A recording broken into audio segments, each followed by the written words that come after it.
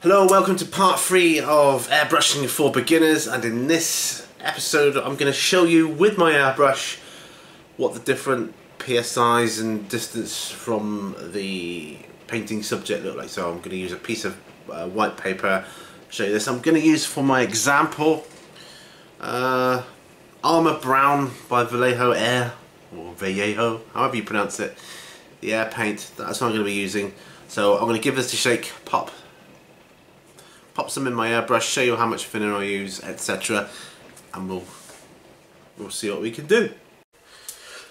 So, uh, side note, you want to make sure that your paint is the consistency of milk. Okay, so get it to the consistency of milk, as I am doing here. Okay, so I've got my airbrush. I'll just pop my paint on the side for a moment. Right. Airbrush thinner. So I'm going to put a little bit of this in, even though it's air, airbrush paint. I'm just going to pop a little bit in. Just a few drops. And I don't know if you'll be able to see that at all. Hardly any. Wet in the bottom. Alright. Now shaking this one up.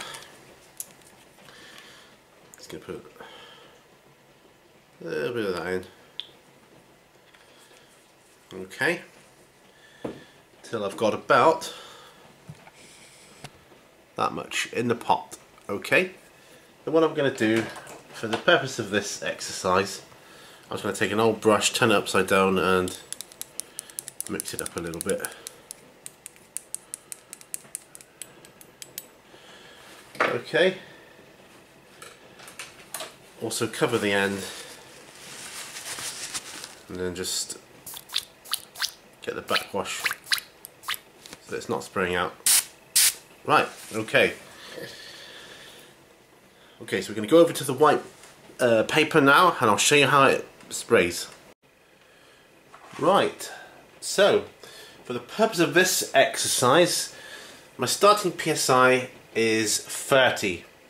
Okay, and I'm going to start off, show you what happens when you go pretty close to the what would be the model. You don't want to go too close because this is what happens.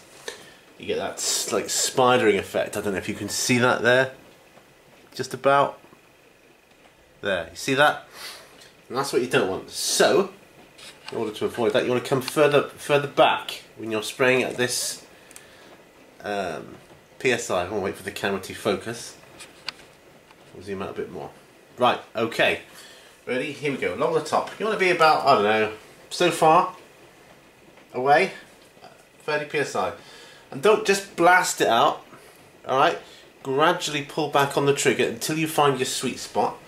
Just do a little bit at a time. See this? See it's coming out there? So towards the end, get more. Alright? So, this is where we start off, and I'll, I'll do, I'll wait for the um, compressor to stop. Right, okay, sorry about that, I had to wait for the compressor to stop. So as you can see, uh, starting from here, going across, that's slight air, a little bit of air, gradually pushing more air through the airbrush towards the end. You can see it's a massive spray So that's kind of perfect for um, like priming and base coating and that kind of thing. I've dropped it down to 25 now. And again, I'll start close in.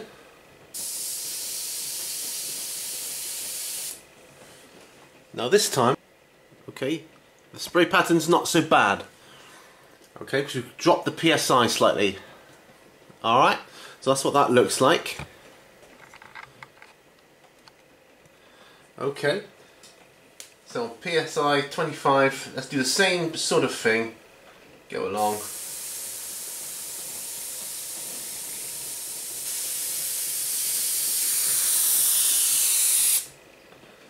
Alright. As you can see, um, it's slightly narrower and more concentrated, but that's just dropping the PSI by 5. So what I'm going to do now is drop the PSI down to 20, see what happens there. Okay, so dropping the PSI to 20, again I'll go, I'll just do this at the bottom here.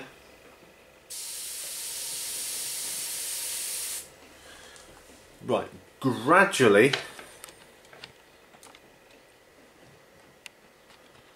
I can get that in there, as you can see, so gradually, the more, the lower you put the PSI, the easier it is to do close-in work. Now that spray pattern looks pretty awesome when you're doing things like headlights, uh, mud splatter, uh, blood splatter, anything like that really. Alright, so we'll do the same again. We'll go across left to right. So we're down to 20 now. And remember what I said, just gently pull back. Alright, uh, you don't need to blast all the air out. So we're going quite close for this one.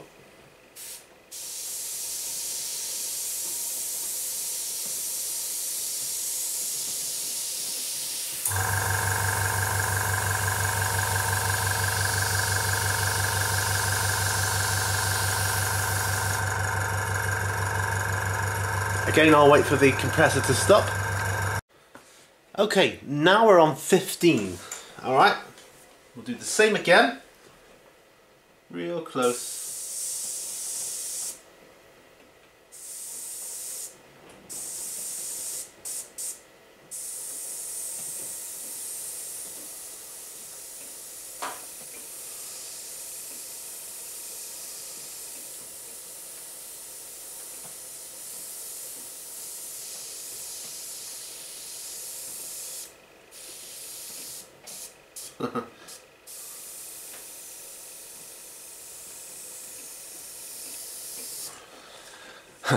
got the exclamation mark a bit bit wrong there but you can see that the closer you go the thinner the line.